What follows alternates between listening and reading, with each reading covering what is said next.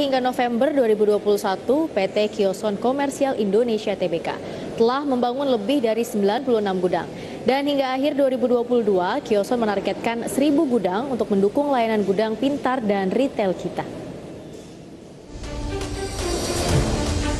Sepanjang 2021, Kioson Komersial Indonesia menargetkan laba bersih 6 miliar rupiah dengan bertransformasi menjadi platform ekosistem berbasis gudang yang terintegrasi dengan pembentukan dua anak perusahaan sebagai platform berbasis gudang yaitu Gudang Pintar dan Retail Kita.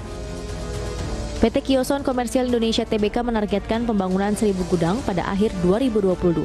Dengan ekosistem gudang terintegrasi tersebut, perseroan menargetkan laba bersih 6 miliar rupiah pada 2021. Untuk menjadi platform ekosistem gudang terintegrasi terbesar, Kioson melalui kemitraan dengan koperasi dan UMKM memiliki lebih dari 13.000 gudang yang tersebar di seluruh Indonesia. Adapun hingga kuartal ketiga di tahun ini, Perseroan mencatatkan laba bersih 2,19 miliar dari periode yang sama di tahun sebelumnya, yaitu sebesar 12,58 miliar rupiah. Penjualan bersih Perseroan ini merosot 68,96 persen dari 882,88 miliar menjadi 274,01 miliar rupiah. Berbagai sumber IDX Channel.